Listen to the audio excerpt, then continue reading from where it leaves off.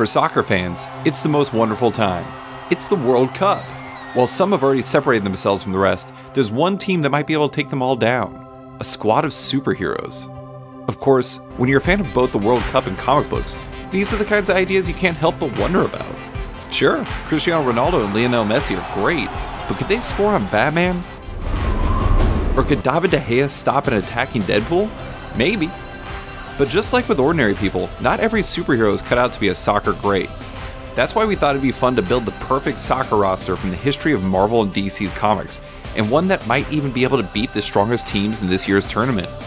Before we start developing the squad, though, I wanted to establish a few ground rules to make it a bit more fair.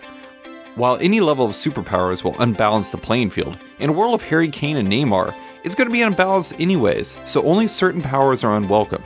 For one, super speed is out. The Flash could take any team by himself, as he would have the ball in the goal before anyone even notices him move. That's too much of an advantage. In a similar vein, flying would be too great of an advantage, as flyers could rain kicks from above at angles no one else could match. Lastly, we'll be working off of a 3 4 3 formation. Three forwards, four midfielders, and three defenders, as it's a simple formation that has been in vogue in recent years. And instead of looking for the strongest or most popular heroes, we'll be trying to build a team of the players that best fit each position, while also complementing each other. That's it! Let's build the greatest soccer team in the world. At striker as Nightcrawler, the amazing Kurt Wagner would and should be the first pick in any superhero soccer draft. He has everything you'd want out of a virtuoso striker. The renowned X-Men is clever on his feet while having a low center of gravity, making him difficult to push off the ball, while also being an incredible acrobat with unparalleled agility and reflexes. Those advantages would be enough by themselves, but he also brings two elements to the table that give him an even greater leg up. For one, he's a true international, and when the German townsfolk who hated and feared him weren't hunting him, he likely was playing soccer, because that's what you do in Germany. And his power set is perfect for the sport.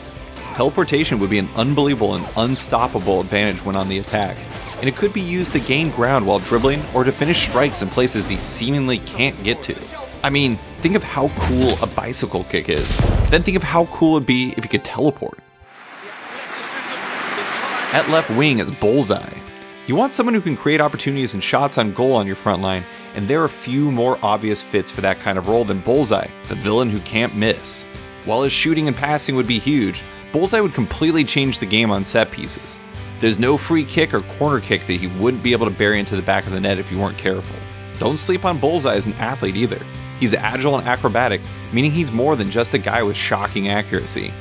And he'd give you a true wild card up front, which is important both Nightcrawler and our other forward are nice guys, so Bullseye would give you someone who could mix it up like Spain's Diego Costa. On the right wing is Spider Man. We need a creator on the right side, and Spider Man is perfect for this role for one reason his spider sense. This ability allows Spidey to sense coming danger, thus making him completely impossible to tackle. He'd be able to work the ball up the field with little danger of losing it. That's an unbelievable skill for soccer.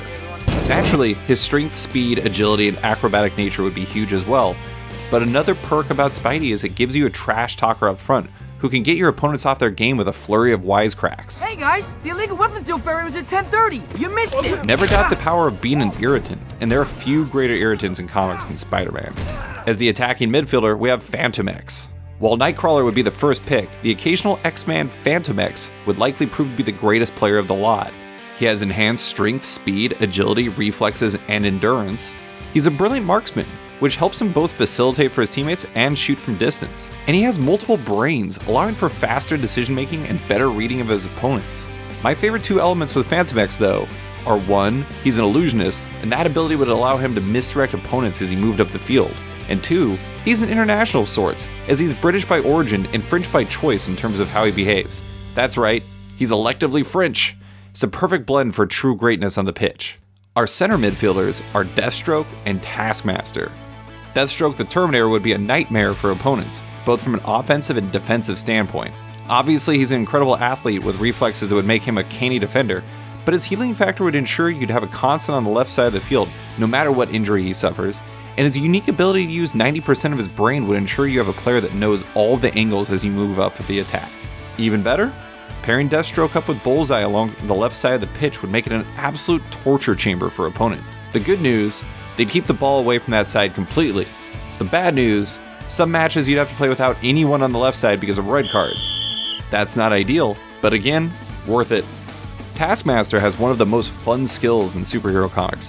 He has photographic reflexes, meaning if he sees someone employ a move, he can use it. So before the tournament starts, Taskmaster would just watch tape of current midfield greats like Toni Kroos and Paul Pogba until he knows everything there is about dominating the competition. That skill set also gives him a rare gift of being able to predict his enemy's movements, which allow him to regain possession with relative ease. Those powers make Taskmaster a perfect fit for any sporting team. Our defensive midfielder is Puck. This might be the most outside the box pick on the team, but hear me out.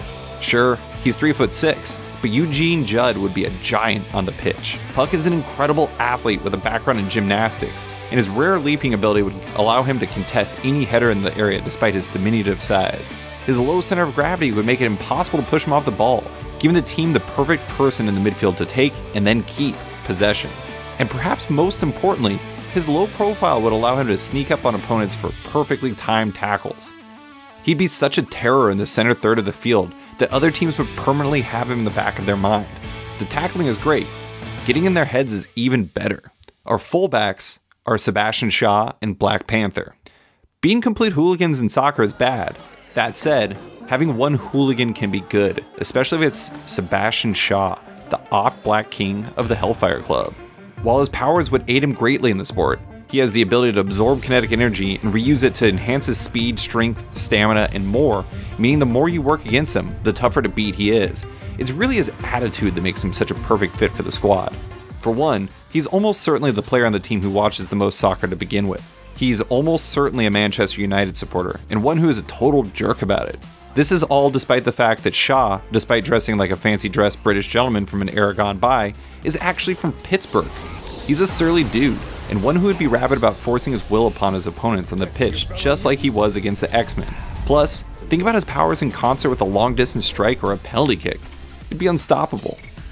Shaw's not exactly a typical soccer player, so we need someone who can match his ferocity and intelligence, but bring raw athleticism to the defense. That's Black Panther, a freakish athlete who is also a brilliant mind and strategist, and someone who could zip back and forth between offense and defense in a way his cohorts on the backline couldn't.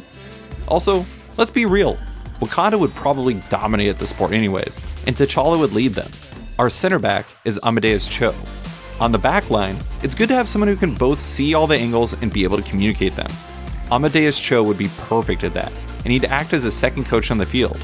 He also has, in continuity, the on the fly math abilities to calculate everything he needs to deliver any object to the place he wants.